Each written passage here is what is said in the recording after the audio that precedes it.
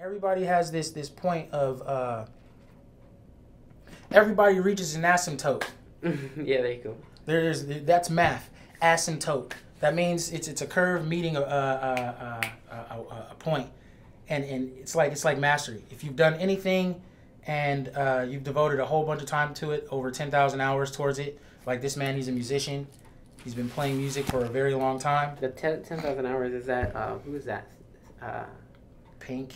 Um, if devoted uh, ten thousand hours towards something, um, eventually that that's a form of mastery. But it doesn't mean that you're that you're professional, and it doesn't mean that you've mastered it because there's this point called an asymptote, and it's a it's a straight line meeting a curve, and that curve it means that oh, well there's something else to learn here, so let me follow this curve, and then that curve may turn into a straight line, and then there'll be another curve, and now you'll have to go that way. Like it's it's there's that's what life is about. It's about meeting that curve, but you're constantly forming yourself to keep meeting that curve. You're constantly going. So everybody has an asymptote. They're not gonna always understand what you're saying. Just meet the curve and keep going. don't tell me I have an asymptote. Everybody, everybody does too. I have an asymptote. but I mean, that's that's just that's just some some here and there for me as far as yeah. health benefits. Um, from uh, forgiveness and uh, just the opposite too, man. Like I, if you there's there's things there's things where people people have been through some serious stuff, man.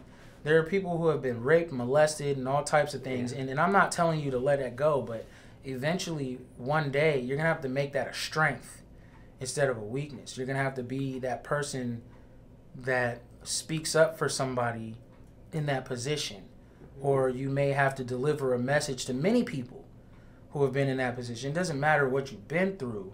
It matters what you do with what you've been through. Like I, am not gonna sit here and make excuses for all the stuff that I've been through anymore, yeah. man. Well, it's, it's, it's, like a point of you've already suffered. You know, it's yeah. like you don't want to continue suffering, and so it's really it's, it's um, out of your own self interest. Um, just do your what you can within your power to begin the healing process. Um, I'm going to make a plug actually um, for Jordan Peterson's self authoring. I think I told you about it. So, Jordan Peterson's self authoring program, uh, which uh, hopefully will get you to do, uh, it helps people look through the narratives of their past. So they look through. For oh causal, yeah, you were telling me about yeah, that. for causal relationships for why certain events happened and whether there were things that they can do. And it's to acknowledge that there are bad people in the world and there are dangers, and so the idea is that you do what you can to prevent future uh, future bad things from happening, um, and you acknowledge when there was literally nothing you could have done in that situation. So hopefully, it can begin the healing process and allow you to let it go and move on.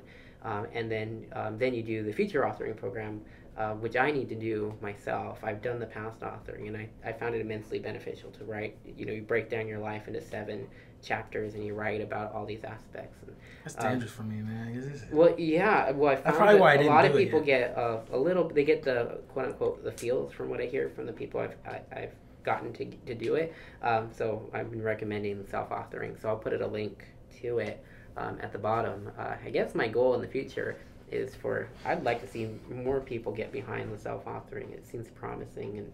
Um, just from an anecdotal standpoint, it, I feel like it's worked for me and it seems like uh, a lot of students like it. Um, that from, my, from what I've heard.